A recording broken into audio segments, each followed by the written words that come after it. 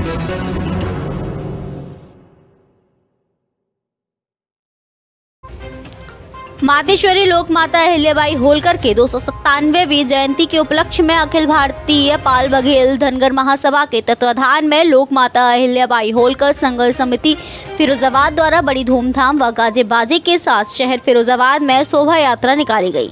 वहीं गांधी पार्क के पालीवाल हॉल में लोक माता अहिल्याबाई होलकर का जन्मोत्सव आचार्य दयालु राम दयालु की अध्यक्षता में मनाया गया।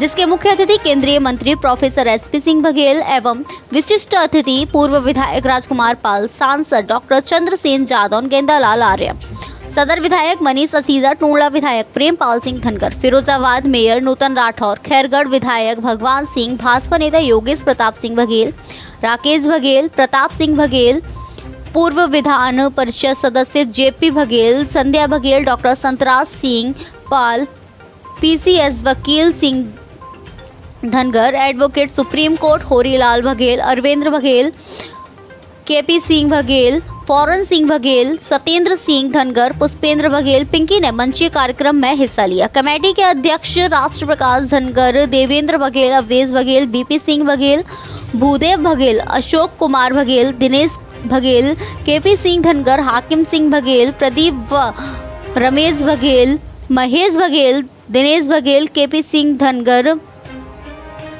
डॉक्टर सर्वेश बघेल, दलवीर सिंह बघेल, प्रमोद बघेल, विनोद बघेल एवं मुकेश बघेल पत्रकार ने मुख्य अतिथियों ने लोक माता अहिल्याबाई की प्रतिमा पर माल्यार्पण एवं दीप प्रज्वलित कर कार्यक्रम का शुभारंभ किया। वहीं कमेटी के पदाधिकारियों ने मुख्य अतिथि एवं विशिष्ट अतिथियों का पीताम्बर पटका पगड़ी व फूल माला पहनाकर जोशीला स्वागत किया। वहीं कार्यक्रम में आए सभी अतिथियों का पीताम्बर पटका व पगड़ी बांधकर स्वागत किया गया। फिरोजाबाद के पालीवाल ऑडिटोरियम हॉल से केंद्रीय राज्य मंत्री प्रोफेसर एसपी सिंह बघेल ने हरी झंडी दिखाकर लोक माता अहिल्याबाई होलकर की शोभा यात्रा का शुभारंभ किया। फिरोजाबाद से जिला संवाददाता सौराज सिंह की report S K H news. देश में गोली से लेकर तक टूटे हुए बारह हज़ार सात सौ बासठ मंदिरों का पूरा उद्धार किया हो, जो कि बीच में औरंगज़ेब के बाद सौ साल का कालखंड बीत चुका है।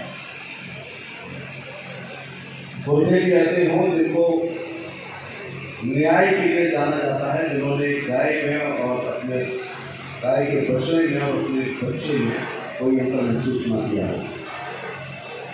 थोड़े भी ऐसे हों कि जब इंग्लैंड का बच्चा होता था तो लोग माए कहती थी, चुप हो जाए तो भूल कर आ जाएगा। और दूसरे ऐसे हो, अगर इंग्लैंड की अंग्रेज़ी की कहावतों में आज भी उन्होंने अपने बाल्यकाल में ही,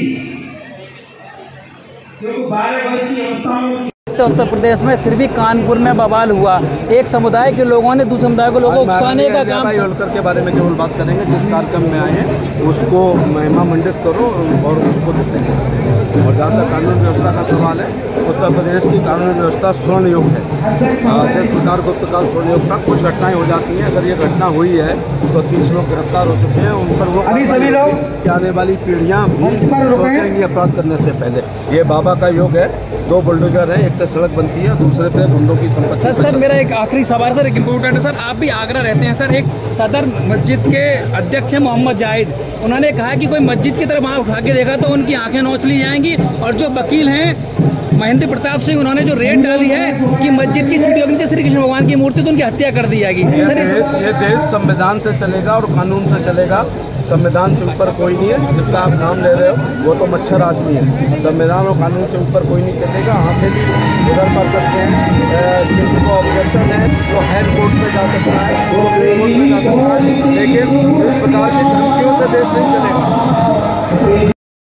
हिलाबाई होलकर जी लोक माता हिलाबाई होलकर जी लोक माता हिलाबाई होलकर जी आज पुलिस लोका दादा स्मरणीय इस देश में राज्यसभा के दौर में माँ